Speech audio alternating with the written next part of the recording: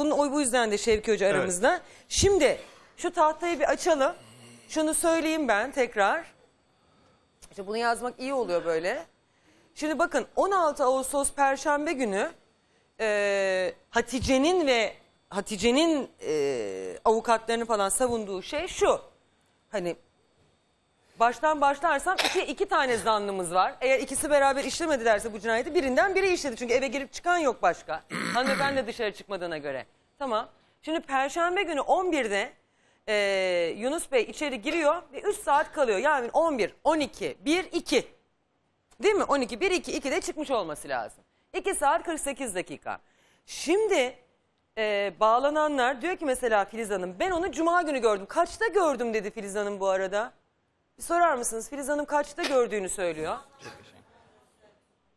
Ee, yani cuma e, saati olduğuna göre yani öğle namazı sonrası e, gördüğüne göre işte saat birden, Birden sonra, sonra. 2'de falan görmüş. Tam bir saatini bir sorun. Özlemciğim bir sor bana söyle.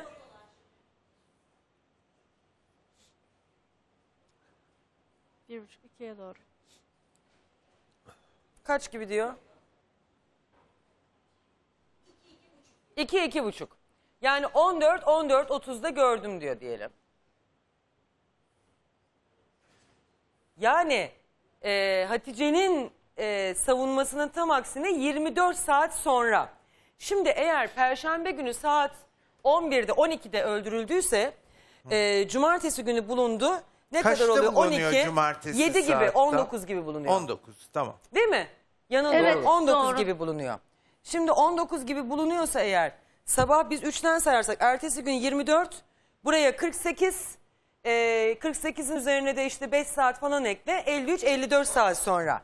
Ama öteki türlü eğer cuma günü 14.30'da görüldüyse e, cuma günü e, diyelim ki Hatice sabah öldürdü o zaman hani işe çıkmadan evvel 24'ün üzerine e, işte ne ekleyeceksin? 7-8 saat falan daha ekleyeceksin. Yani şuradan 24'ü çıkartmamız lazım. Yani neredeyse yarı yarıya. Yarı yarıya evet. Şimdi 53 saat mi? Farz-ı mahal söylüyorum mu 30 saat mi?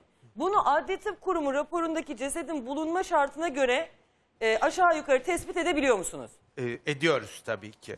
Çünkü e, Çünkü orada ölüm saati yok yani. O beni o beni Tabii istiyorsan tabii. yaz. Otopsinin ana amaçlarından bir tanesi e, ölüm sebebini İstiyorsanız söylemekle birlikte ölüm zamanını da söylemek. Orada niye ölüm zamanı yok? E, aslında burada tam olarak ölüm zamanı belirtilmemiş. Ölüm sebebi de net olarak belirtilmemiş. Ben de bunu avukat arkadaşıma sormak istiyorum aslında. Bizde adli tıpta otopsi yapıldıktan sonra işte ölüm zamanı, ölüm sebebi gibi soruların cevabı net gelemiyorsa adli tıbbın bir üst kurulu vardır. Birinci ihtisas kurulu. Bunlara cevap vermek üzere oraya dosya yollanır. Oraya yollanması için herhangi bir işlem yapıldı mı? Biz sanıyorum- Talebiniz oldu mu? Oldu. Sanıyorum üçüncü celseydi. Ya ikiydi ya üçüncü celse hatırlamıyorum. Bu konuda biz çürüme bulguları. Hasan Cangar'ın dinlendiği ikinci celse. İkinci celsede biz bu konuda talepte bulunduk. Mahkeme e, daha sonra değerlendirmek üzere ara karar kurmadı. Şu anda Peki. şu an göndermedi. Ee, mahkemeyi... Yani elimizdeki son rapor bu değil mi? Ben Son raporumuz o. Evet, netleşme- mevcut bir tane raporumuz o. rapor var. Çünkü bizde Doğrudur, dosyanın doğrudur. tamamı olmadığı için. Doğrudur. ölüm sebebi ve zamanı diyelim buraya. Benim kötü yazımla oldu biraz ama doktor yazısı affeyleyin. Ee, Şunu da çok özür diliyorum, Ölüm girdim. sebebi belli değil. Raporda. Şu anda raporda belli değil.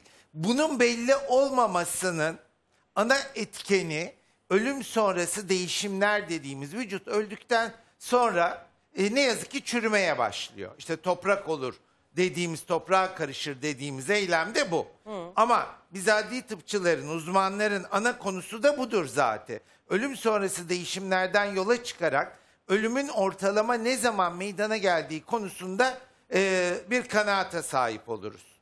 Şimdi ölünün bulunduğu yer belli, saklandığı yer saati belli. de tam hesaplayayım ben ya. ortalama hava sıcaklığı belli Bir kalem versene. ve e, yapılan otopside de çok net olarak ölüm sonrası değişimler belirlenmiş. Dur neyse ben... Ve Siz ben devam size, edin, ben başka bir ben şeye size bakıyorum. şunu söyleyebilirim.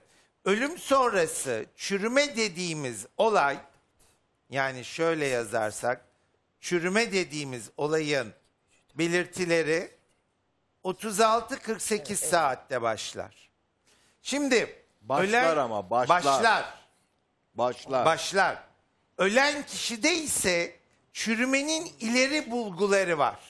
Yani bizim aslında ortalama 72 saatte hesaplamış. göreceğimiz çürüme bulguları bu cesette başlamış. 72 saati biraz geriye götürebilirim. Bir 10 saat kadar düşürebilirim. 10 12 13 saat kadar düşürebilirim. Ortamın sıcaklığından dolayı.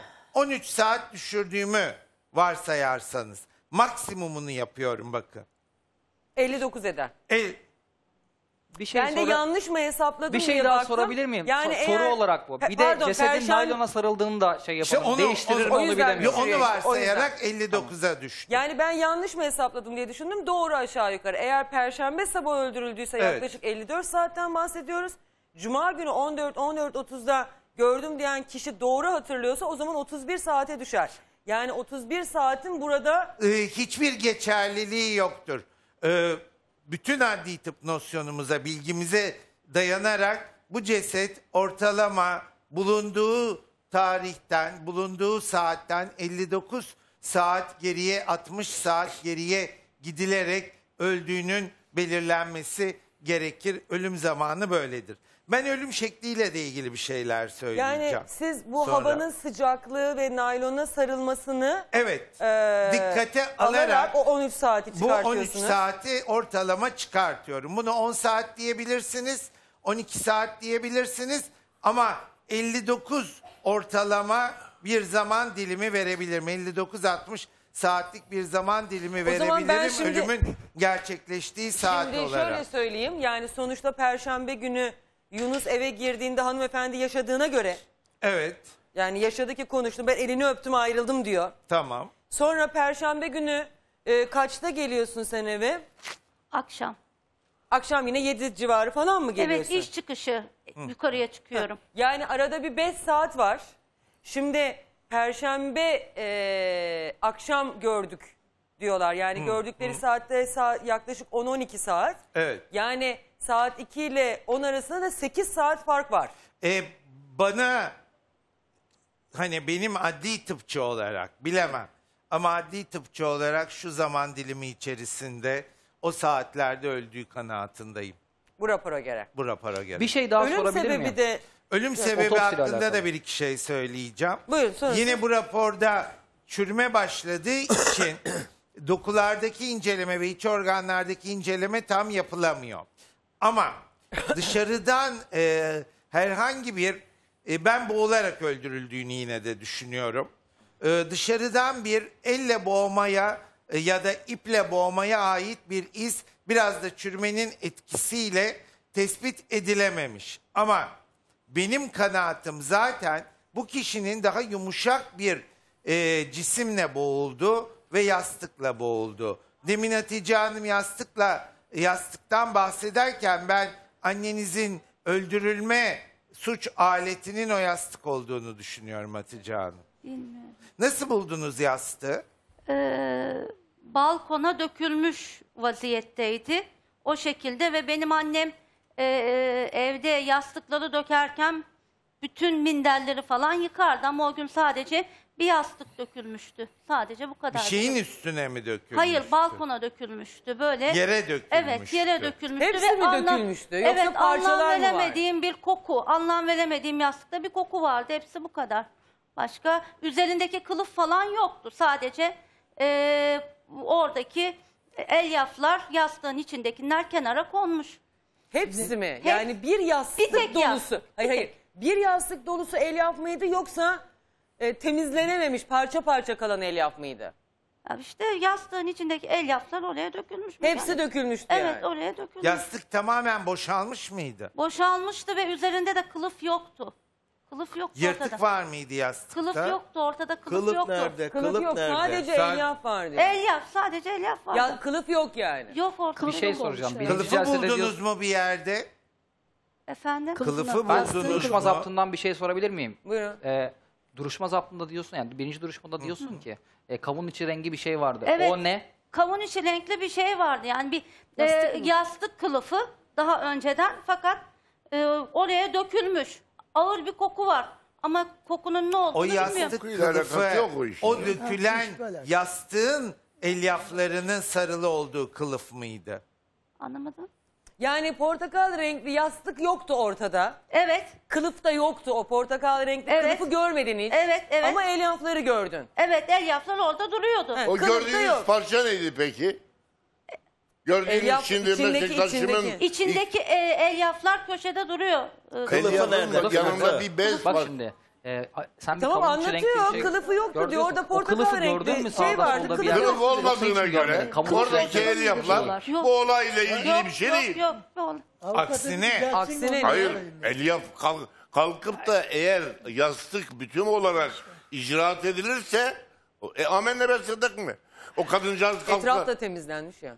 Efendim? Etraf da temizlenmiş. Müge Hanım Temizlense e- dahi niye çıkarıp yastığın içindeki elyafları Çünkü attılar? çünkü üstünde Üzerine kılıfın şey üstünde kadına ait ve, ve adama ait parmak izleri ve e, bir takım deliller olabilir. O nedenle yastık O kılıf- kılıfını o kılıf ortadan bir delil. kaldırmak son derece Ha, bil- böyle bir bilhassa- olayı bilhassa yani böyle bir o olayı haliyle yapan değil. Kişinin Ama o delilin yapacağı üstündeki parmak izlerini yok etmek için Yapılmış atılmış bir da durum. elyafı oraya Ben çıkartmışlar. özellikle onun suç e, unsuru oldu. olan yastıktan Özür e, dilerim. dökülen elyaflar olduğu Tırnak kanaatindeyim. Ee, beyefendi evden bir eldeki plastik torbayla çıkıyor. Kırmızı poşet. Evet. Kırmızı poşetle çıkıyor. Kırmızı poşeti soracağım hep. O kırmızı poşet yani pazar poşeti mi ne? Bir çanta Müge Hanım annemin çantasıydı. Ben bir şey soracaktım size Ve ama. o çanta anneme aitti. Buradayım. Pazara giderdi kendisi. Yani naylon böyle hani hanım Kumaş resmi. tarzı, bez tarzı bir annemin çantası. O çanta anneme Kuyumcu ait. poşetleri olur ya. Kuyumcu, Peki kuyumcu o to- poşetleri bir bez dakika, gibi bir şey olur özür ya. dilerim. E peki Cevap o nasıl üzerine çöp poşeti Fakat olmuş o zaman? O, ço- tor, o torba ile gelmiyor yani. Hayır o Bir torbayla eve torbasız girişi yok. giriyor evin içine. Çıkışta o torba annemin poşeti elinde ve koşarak çıkıyor. Ya bu Poşet çö- anneme içine, ait. içine çöp e, atılıp hani atılabilecek bir torba değil anladığım kadarıyla. O Hayır net hayır. görünüyor. Sürekli Tabii kullanılan annemin bir sürekli torba. pazarda kullanmış olduğu işte e, patlıcandır, biberdir, sebze almış olduğu Ya anneme ait anneniz bir Yunus çanta. Bey'in eline bir çöp e, Ben poşeti mümkün değil. verecekse bu torbanın içine koymaz. Hayır, Çöp Mümkün değil. değil. Pazar çantası bu. Pazar çantası, evet. Naylondan Çok doğru Anneme aittir. pazar çantası. Annemin Pazar çantasıdır. çantası olduğu mahkeme Bir dakika daha abi önceki ya. verdiği ifadelerde var mı?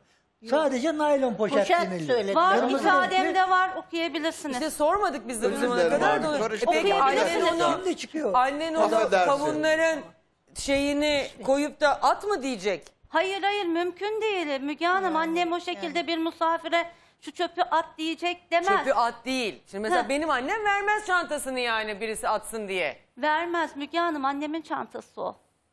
O çanta çöpe falan atılmaz. Ben bir şey Atılmaz sorabilir miyim? pazar çantası Müge Adli Hanım. tıpla alakalı bir konu olduğu için hani yeri gelmişken soruyorum. Şimdi boğulma olduğu varsayım yani siz öyle söylediniz kanaatte. Şimdi Hatice 16, 17, 18'inde gözaltına alınıyor. Neden boğulma Evet, olduğunu şimdi da ilk söyleyeyim adli- isterseniz.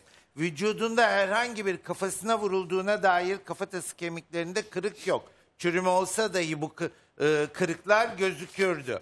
Herhangi bir vücudunda e, yine işte boğuşma sırasında oluşmuş kırıklar olmadığı için e, büyük bir olasılıkla bu boğulmadır.